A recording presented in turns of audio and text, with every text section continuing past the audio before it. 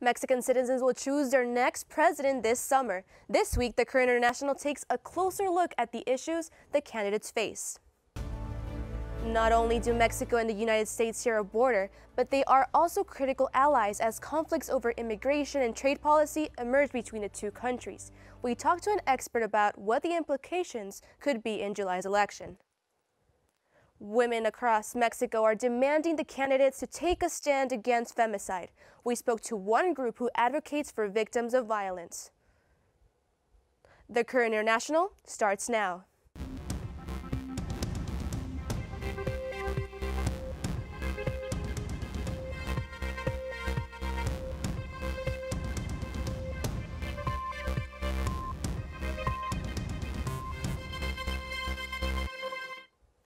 Campaign season is up and running. Welcome to the Current International. I'm Claudia Buccio, and tonight we'll be exploring the upcoming elections in Mexico.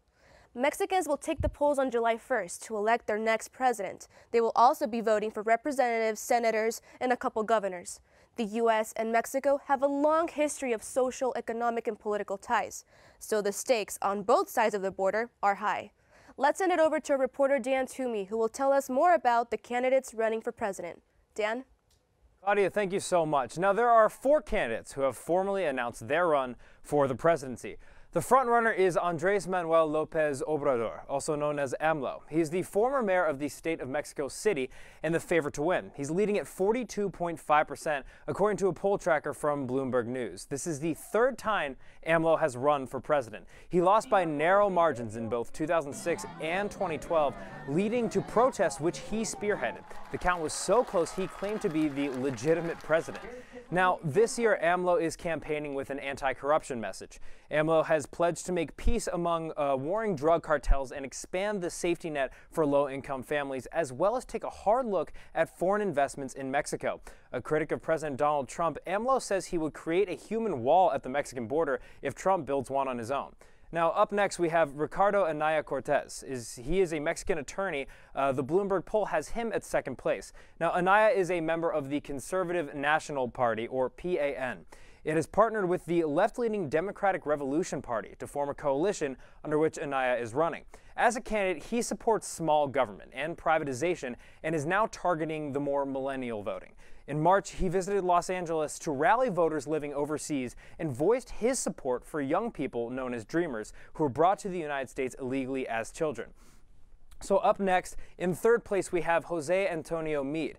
Now he is in third place according to the, uh, to the Bloomberg projected polls. He served in the current government under the Institutional Revolutionary Party, or PRI. This was in power in Mexico for the past 70 years. Meade appeals, uh, appeals to the business community. His platform also includes inc increased attacks on the finances of drug cartels, higher salaries for teachers, and a pledge to fix issues plaguing the PRI. And Margarita Zavala is the final and trailing candidate. She's a Mexican lawyer and politician married to former President Felipe Calderon. Zavala is the only candidate running as an independent, despite having served numerous roles in the past for the National Action Party. She's proposed to increase minimum wage, grow Mexico's police force, and fight corruption. Although she appears to have a very slim chance of winning, she hopes to have the upper hand with female voters. Now, if the polls hold up how they look right now, Obrador looks like to, he's going to be the winner. His outsider image appeals to Mexican citizens tired of government scandals and drug gang violence. His populist message seems to be resonating with many citizens. Where a victory will place Mexico with the Trump administration is too hard to tell. Thanks, Dan. We're only 86 days away from finding out who will become the next president of Mexico. One thing we do know is that Mexicans are fed up with the current president. According to a recent poll, 76% of Mexicans disapprove the work of Enrique Peña Nieto, the current president. Voters are ready for change, but the fight for the presidency in 2018 is more complex than it seems. Las doctrinas políticas en 2018 han pasado a segundo plano. La importancia es por obtener el poder y derrotar al sistema. Eso es lo que dice López Obrador, es lo que dice Anaya y es lo que dice Margarita Zavala. Y en medio de todo ello, el ciudadano mexicano está más confundido que nunca antes en la historia de unas elecciones presidenciales que yo haya visto. Frustration among the Mexican electorate has been building up for years. Because of Mexico's fear for authoritarian leaders, the Constitution states that no president can serve a second term. However, the same political party, PRI, ruled for 71 years between 1929 and 2000. From 2000 to 2012, El Partido de Acción Nacional, the National Action Party, also known as PAN, was in control of the presidency. That changed when Enrique Peña Nieto was elected and brought back the PRI party. Voters' unhappiness is opening a window of opportunity for López Obrador, who is running for the third time with a party that has never held a presidential position. El sistema de partidos en México ha colapsado. Esta es la última elección y así lo demuestra. Van todos los partidos coaligados, no va ninguno por sí mismo. Dos, pudieron hacer a un lado las diferencias ideológicas. La doctrina no cuenta tanto como el deseo de arribar al poder y ocupar los cargos públicos y desplazar al PRI. It is still early in the race to determine which candidate will win these elections. The first of three presidential debates is scheduled on April 22nd. The United States is a critical ally and partner for Mexico, but since U.S. President Donald Trump took office in 2017, the two nations have been frequently caught in tense disagreements, largely over issues related to immigration and trade. That's continued into this week after the Department of Homeland Security announced that the U.S. would deploy troops to the Mexican border in anticipation of a wave of spring migration caravans coming from Central America. Here's DHS Secretary Kirstjen Nielsen on Wednesday been in touch with my counterparts in Mexico uh, regarding this action. They understand the administration's desire, much like their own, to control illegal entry into our country. I value their partnership and do not expect this operation to affect that relationship. But while the U.S. has made the case that Mexico has been extremely cooperative, Mexican diplomats in the U.S. have pushed back publicly, suggesting that a deployment of troops is overreactive and the caravans are a yearly phenomenon. On Twitter, the Mexican Secretary of Exterior Relations tweeted this press release, emphasizing that it understands the U.S. deployment to be in a supportive capacity, but said any further militarization of the border would, quote, seriously damage the bilateral relationship. They also retweeted this appearance by Ambassador Jeronimo Gutierrez on CNN. The Mexican government has formally asked for clarification of the president's statements, both through the State Department and the Homeland Security Department. Uh, it's certainly not something that uh, the Mexican government welcomes, but as soon as we have further clarification, we can um, expect to have uh, a better uh, idea of where we are. Now, analysts say that these recent events are unlikely to test relations between the two countries more than they've already been tested.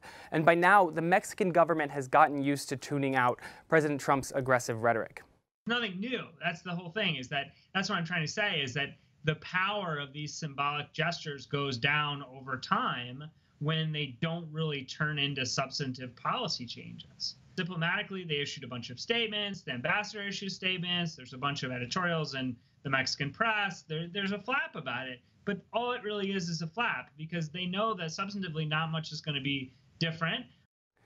Turning back towards the election, some candidates have proclaimed that they'll push back uh, against the United States. But Meade says that once a new president is in office, they'll find that they'll have no other option but to work with the United States. And because of this, he believes Mexican U.S. relations are unlikely to sour. There's a lot of shouting back and forth, but the reality is Mexico is the third largest trading partner of the United States. Uh, and there's huge interests below the political class in terms of the integration of our two economies, to say nothing about all the family and social and cultural relationships between the two countries that are just far more important and kind of dwarf the the political feinting uh, back and forth between uh, political actors on both sides. Now, Meade briefly mentioned economic cooperation there. The U.S. is Mexico's largest trading partner, and Mexico is third for the United States. And the two countries and Canada are currently renegotiating the North American Free Trade Agreement, and that new treaty is expected in the coming weeks. We have more now on another pressing issue in the election. Tara? Thanks, Ryan. Mexico can be a dangerous place for women. A report from Mexico's Interior Department, the country's National Women's Institute, and the UN Women Agency said there have been more than 52,000 cases of femicide since 1985. Nearly one third of these femicides have taken place in the last six years. The UN Women Agency defines femicide as the killing of women and girls as a result of domestic violence or other forms of gender based discrimination. Some critics say the figure could be much higher in Mexico. I spoke with one mother who used her daughter's death to fight for change within the country. Norma Andrade said goodbye to her daughter Lilia on February of 2001 as she left their family home. She did not know this would be the last time she would see her daughter alive again. Ten days later, Lilia's body was found in Ciudad Juarez with signs of physical and sexual abuse. She is one of hundreds of Mexican women who have disappeared and have been killed since the 90s in the city of Juarez. Andrade's anger over her daughter's murder sparked her to create Nuestra Hijas de Regreso a Casa, an organization dedicated to providing support and legal justice for the families of those women.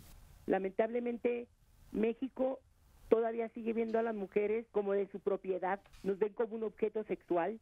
¿Qué sería lo ideal? Que el candidato que entrara entrara con una visión de género, con una cultura en donde se respetara a la mujer, yo debo de enseñarle a, a, mi hija a cuidarse para que cuando salga no vaya a ser violada, en lugar de enseñar a los hombres a respetar a las mujeres y no violar. But what causes these gendered murders? Dr. Carol Ann Peterson, an expert in violence against women and women's rights, believes the trend of femicide is spurred by a culture of impunity, where crimes against women are not further investigated or prosecuted. Most of our society, whether it's the United States or foreign countries, have looked at the concept that men rule. Uh, patriarchal societies look at the sense that men make decisions and make the laws, and it's been over centuries that women were supposed to follow those rules and regulations, even though they had no voice. In 2007, the law on women's access to a life free of violence included femicide in its identification of violence against women, criminalizing it in the process. But due to lack of effective implementation, the killings continue, with at least seven women victims of gender related murders every day in 2016, according to the UN Women Agency. With the Mexico election right around the corner, mothers like Andrade are challenging candidates to stand up and fight against these homicides by promoting equality and empowerment for women nationwide. And to set the example, if I murder you simply because you're female, what is the message I send to other women within my community who might think of doing something about it? Uh, and it takes a lot of brave women who are willing to literally put their lives on the line to stand up and say something. Andrade hopes for the safety of the nation's daughters in the future. It was me. Andrade and other activists in Mexico are pushing for greater recognition of violence against women by the international community. Brian Thompson has more now on a new initiative in this year's election. Thanks, Tara. More than 60 media organizations are participating in an initiative to combat fake news surrounding this year's election in Mexico. Verificado 2018 was launched at the beginning of the Mexican electoral process and aims to not only disapprove fake news, but also prove truthful content to the public. Some of the media outlets that are participating include AJ Plus, Español, HuffPost Mexico, and BuzzFeed News, and Twitter.